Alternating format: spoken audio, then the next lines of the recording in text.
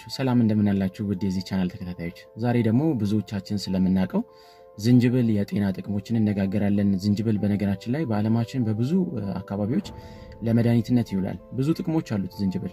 በዚህ ዝግጅት የዝንጅብል ሊያስገኛቸው የሚችሉ የጤና ጥቅሞች ምንድን ናቸው እንነጋገራለን። ከዝግጅቱ ጋር ዶክተር ሚሊዮን ነኝ። አብራችን ቆዩ።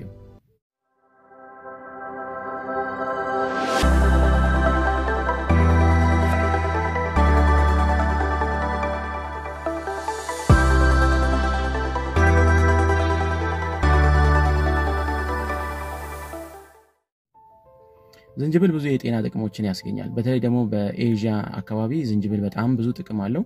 ክብደትን እንደሚቀንስ እናውቃለን። የኮሌስትሮል መጠንን ይቀንሳል። እንዲሁም ደግሞ የተለያዩ የ joint ወይም ደግሞ የመገጣጠሚያ ችግሮችን በማስተካከል ወይም ደግሞ እብጠቶችን በመቀነስ ይታወቃል። ዝንጅብል ከሚያስገኛቸው የጤና ጥቅሞች መካከል ታዲያ የመጀመሪያው ኮሌስትሮልን መቀነስ ነው። ዝንጅብል በተለይ የኮሌስትሮል ህመም ያለባቸው ሰዎች በተለይ ደግሞ bad የሚባለው ኮሌስትሮል ወይም ደግሞ መጥፎ የምንለው የኮሌስትሮል አይነት ጨምሯል የተባሉ ሰዎች ወይም ደግሞ የዛ የኮሌስትሮል መጠናቸው እንዲሁም ደግሞ በአጠቃላይ ኮሌስትሮላቸው ብዙ ነው የተባሉ ሰዎች ዝንጅብልን መጠቀም ይችላሉ። ይሄ ዝንጅብል የኮሌስትሮል መጠናቸውን እንዲቀንስ በማድረግ የኮሌስትሮል ህመማቸውን እንዲሁም ደግሞ በመጨረሻም የኮሌስትሮል መድኃኒት እየወሰዱ ካሉ የመድኃኒት መጠኑን እንዲቀንስ በማድረግ ከፍተኛ የሆነ አስተዋጽኦ አለው። ይህንን ውጤት ለማግኘት ታዲያ ሰዎች ቢያንስ ዝንጅብልን በየቀኑ መጠቀም ይኖርባቸዋል። ሌላው የሆድ ድርቀት ያለባቸው ሰዎች ናቸው። የሆድ ድርቀት ያለባቸው ሰዎች ዝንጅብልን መጠቀም ይችላሉ። ዝንጅብል በውስጡ ፋይበር አለው። እንዲሁም ደግሞ እንዲሁም የአንጀትን እንቅስቃሴ በመጨመር የሆድ ድርቀትን ያስወግዳል።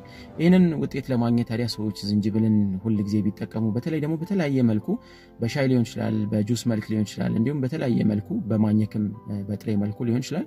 ዝንጅብልን በየቀኑ በመጠቀም የሆድ ድርቀታቸውን ማስታገስ ወይም ደግሞ ጥሩ እንዲሆንላቸው ወይም ደግሞ እንዲስተካከልላቸው ማድረግ ይችላሉ።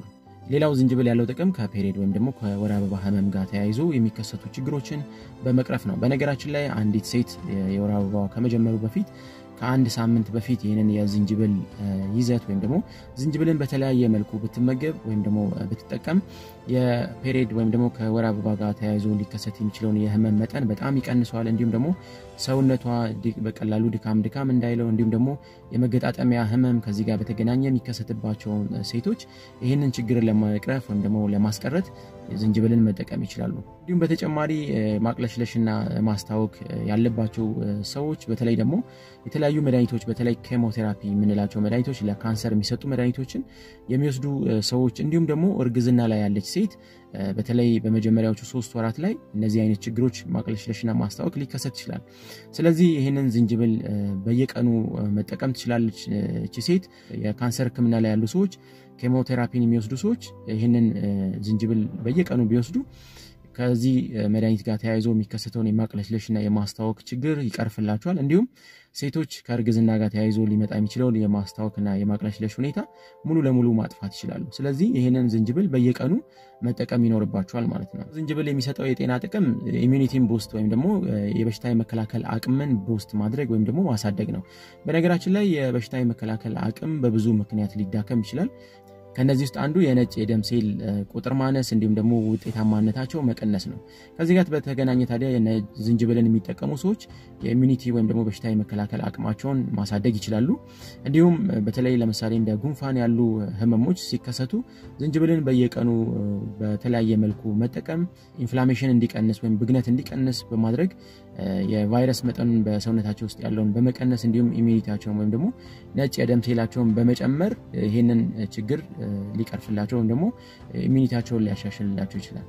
ሌላው የዝንጅብል ጥቅም የስኳር መጠንን ማስተካከል ነው። በነገራችን ላይ prediabetes ወይም ደግሞ ስኳር ከመከሰቱ በፊት የስኳር መረበሽ ወይም ደግሞ ከፍ ማለት እንዲሁም ደግሞ የስኳር ህመም ያሉ ሰዎች ዝንጅብልን መውሰድ ይችላሉ። እነዚህን ችግሮች በተለይ የስኳር መጠንን ለማስተካከል ወይም ለመቀነስ የሚወሰዱ የዝንጅብል መጠን በየቀኑ መወሰድ ይኖርባቸዋል። እነዚህን በየቀኑ የምንወስዳቸውን ዝንጅብሎች መጠን ብዙም መሆን አይጠበቅበትም። ነገር ግን ዴይሊ ወይም ደግሞ በየቀኑ የተወሰነች የዝንጅብል መጠን መውሰድ ሙሉ ለሙሉ የስኳር መጠናቸው እንዲስተካከል ወይም ደግሞ እንዲቀንስላቸው እንዲሁም መድኃኒት ላይ ደግሞ ያሉ ሰዎች መድኃኒታቸው መጠኑ እንዲቀንስላቸው በጊዜ ሂደት የማድረግ ባህሪ አለው። ስለዚህ ይሄ ችግር ያለባቸው ሰዎች ዝንጅብልን መውሰድ ይችላሉ። እንዲሁም በቀላሉ የስኳር መጠናቸውን ማስተካከል ይችላሉ ማለት ነው። የዛሬውን ዝግጅቴን ትምህርት እንዳገኛችሁበት አስባለሁ። ዝግጅቱን ከወደዳችሁት like፣ share እንዲሁም subscribe አድርጉ።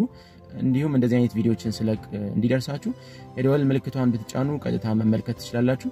በሌላ ጊዜ በሌላ ዝግጅት እጠብቃችኋለሁ። እስከዛው መልካም ጊዜ